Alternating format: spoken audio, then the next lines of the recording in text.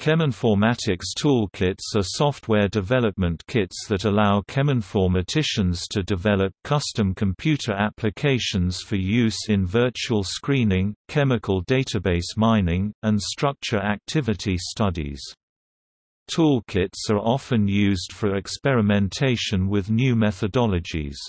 Their most important functions deal with the manipulation of chemical structures and comparisons between structures.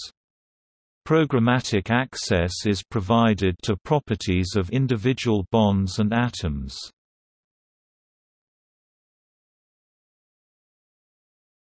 Topic: Functionality.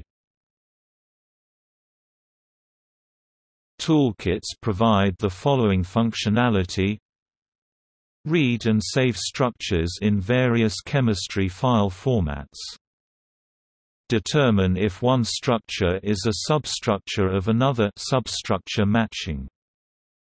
Determine if two structures are equal exact matching. Identification of substructures common to structures in a set maximal common substructure, MCS. Disassemble molecules, splitting into fragments.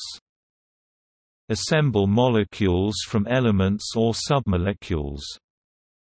Apply reactions on input reactant structures, resulting in output of reaction product structures. Generate molecular fingerprints.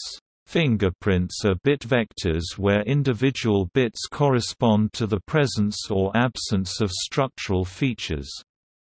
The most important use of fingerprints is in indexing of chemistry databases. List of notable cheminformatics toolkits